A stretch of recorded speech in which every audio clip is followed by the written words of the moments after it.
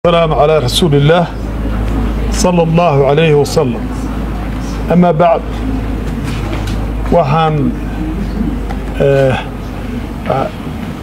ii sharafa inaan caawa ka soo qayb galo dowraadkan diiniga ah ee midna la furayo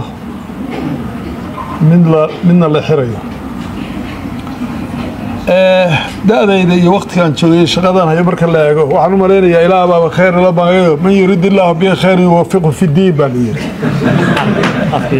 marka waxaan u malaynayaa ilaahay inuu jecel yahayo ila soo doontay inaan u adeego ama wuxuun ka sameeyo.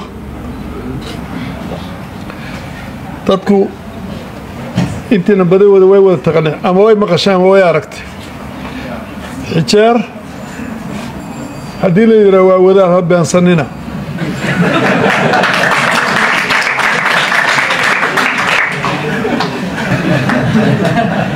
aniga macallinkay waxaa la yidhaahaa sheekh maxamed macali xasan ninkii yaqaana yaqaan culimmadan waaweyn aan u malaynayaa aniga sheekh cabdiwaaxid isku subax baanu bilownay isaga wayga diin jamaal cabdinaasir waxbuu ka baxayo anigusa waa qolada ingiriiskan ahaa laakiin isku subax baa naloo bilaabay tafsiirka qur'aanka.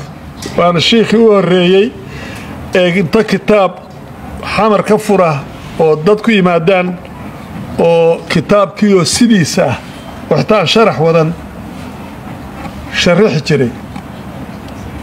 Marka markii dambena xijaar askartuu galay waxaa la yidhi almu'min alqawiy muxuu ahaa? Askarta naftooda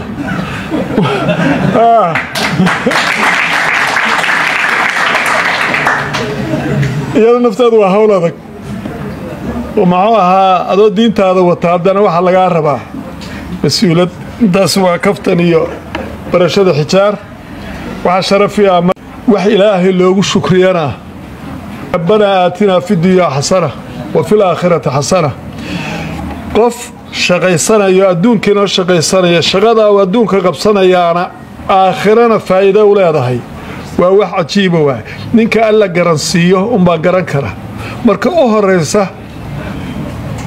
waxaan idinku boorinayaa inaad ilaahay subxaanahu wa tacaala mujtamacan maanta jira idinka idiin duway dhanka diinta idiin duway ilaahay inaad ku shukridaan maxaa yeelay dadkii idinla mid ahaa ama dhallinyaro ha ahaato qolo fanaaniin bay ku jirtaa qolo kubad bay ku jirtaa qolo adduunyo kale ku jirtaa ilaahidii idiin dooray oo idin waafajiyey in camalkiinna iyo shaqadiinnu ay diinta noqoto.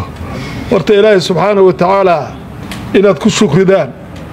Oo qofku qalbigiisa uu ugu shukriyo ilaahgii xumaantaa iga qabtay. Dadka idin la mida wax laga yaabaa qaad bay gadayaan qaad bay socotaan halkay ordayaan. Waa wax ilaahay loogu mahadiyo. Intaa haddaan ka gudbo ka wasaarad ahaan wasaarad horey ma u jirtay laakiin hadda wasaaradda dastuurka iyo diinta iyo cadaaladda waxaa weeye marka loo eego ssc khaatuwa waa wasaarad weyn waay. Wasaarad shuruuc dowladnimo lama gaarayo ilaa aad shuruuc dhigato oo shuruucdaa lagu kala sarreeyo oo cadaaladdaas mataqaanaa la mariyo.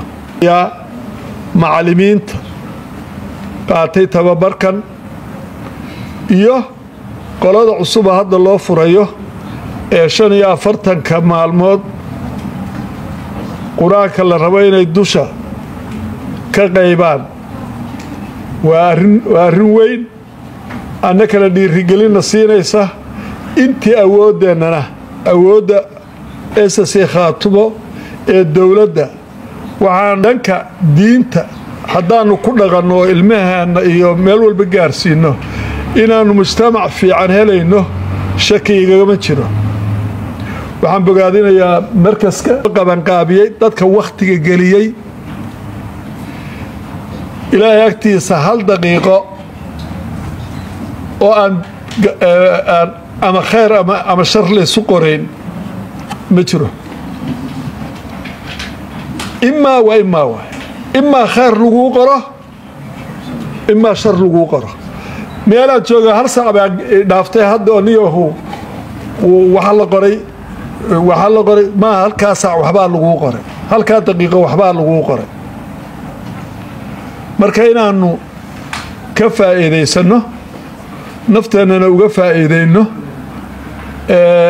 dadkana aad ka faa'iidaysataan waa wax ilaahay loogu muxuu ahaa loogu mahadnaqo. Waxaan dhihi lahaa in la kordhiyo macaahidda noocan oo kale ah la gaarsiiyo degmooyinka s c oo dhan iyo muxuu ahaa tuulooyinka in la gaarsiiyo oo tuulooyinka markaama degmooyinka dadkaana kale ka yimaada markay waxbartaan dhowr tuulaa naqaanaa nin qofku markuu waxbarto tuuladiibuu ka guurayaa. Yaa dhakhtarkiina tuuladii waa ka guurayaa. Macallinkii tuuladii waa ka guurayaa. Marka inaan haddaanu dad ku abuurno oo tuulooyinkaanu ka nimi mujtamaceennu wuxuu noqonayaa mujtamac muxuu ahaa fiican buu noqonayaa. Waxaan idinka rajaynayaa in ilaahay ajar idinka siiyo inaad aflaxdaan in muxuu ahaa danta aad leedihiin adduun iyo aakhiraba ilaahayna gaarsiiyo. Inta dadka ehelkiinna ama saaxiibadiinnana intaa wacdin kartiin walow kalma intaa wacdin kartaan inaad wacdidaan wax u sheegtaan. Aad iyo aad baan muxuu ahaa waa ku dheeraaday khudlada waxaan rabay xijaar in la barto. Marka insha allahu tacaala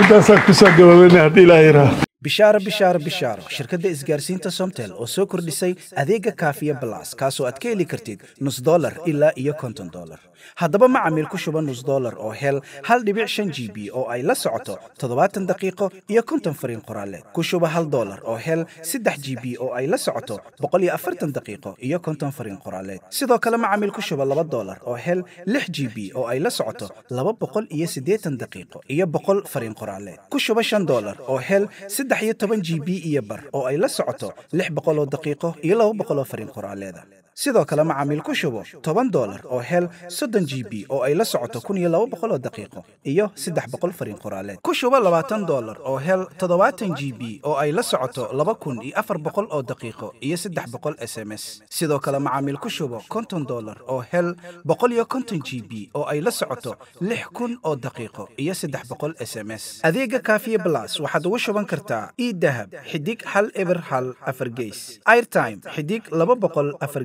geys reseller xidig geys shirkadda isgaarsiinta somtel oo aad ka heli karto internet qiimo jaban tayo sare leh misna laysku haleyn karo